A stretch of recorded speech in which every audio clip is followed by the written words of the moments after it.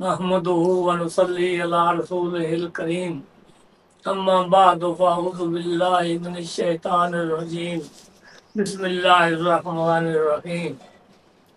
سورة معاشر کے جان قطال بود اولی پر شعر نواز بود ان صلاة تنہا عن الفحشاء والمنکر۔ نماز ہر برائی سے انسان کو روک لیتی ہے۔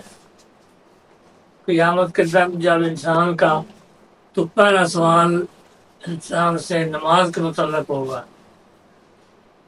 تو انسان کے ایک نماز کا دوسرا ٹائم آتے وقت درمیان جتنے گناہ ہوتے ہیں، اللہ تعالیٰ معاف کر دیتا ہے۔ دوسری حدیث پر پانچ وقت نماز پڑھ لینے سے جتنے گناہ ہوتے ہیں، اللہ تعالیٰ ایک کے بعد ایک ہر نماز کے بعد معاف کر دیتا ہے۔ نبی کریم صلی اللہ تعالیٰ علیہ وسلم نے فرمایا کہ اگر انسان کے دروازے کے سامنے ایک پانی کی ندی جاری ہو اور پانچ مرتبہ اس میں وہ نہا لے۔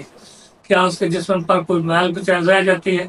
صحابہ نے عرض کیا، یا رسول اللہ، نہیں، وہ صاف ستھرا ہو جاتا ہے۔